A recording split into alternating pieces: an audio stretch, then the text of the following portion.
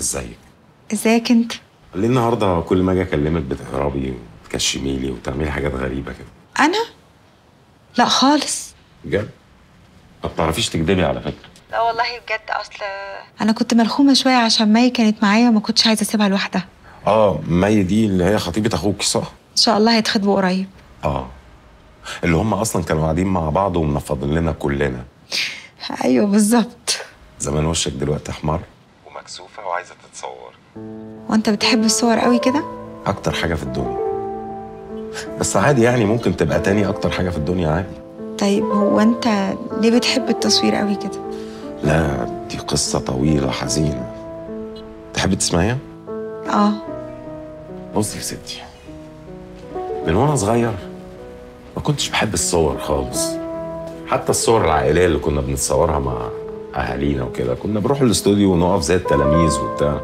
ما كانتش بتيجي معايا خالص. كنت مضطر يعني. بالظبط كده. حتى في ابتدائي وإعدادي ما كانش ليا صور كتير.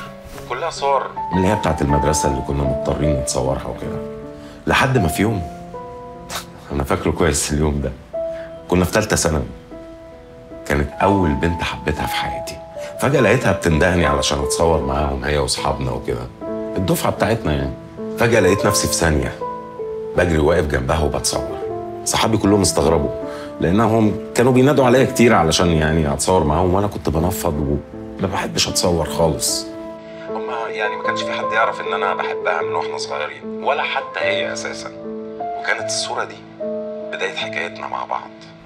هي كانت مجنون التصوير يعني بناكل بنشرب بنمشي بنركب كل حاجة بالنسبة لها تصوير. لحد ما في يوم كنا راكبين مركب واحد صاحبنا ما بيعرفش يعوم فجأة وقع في النيل. كلنا جرينا عشان نلحقه. وفجأة هي جريت على الكاميرا وعايزة تصور.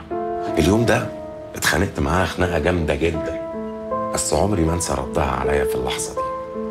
قالت لي اليوم هيخلص والذكرى هتنتهي واللي هيفضل من الحدوتة هي الصورة دي اللي هتفكرنا. هتفكرنا بحبيب فارق. بصديق سافر. بأخ هاجر. بصاحب بعد كل حاجة هتخلص. ما عدا الصورة. هي اللي هتفضل موجودة. وبعد سنين.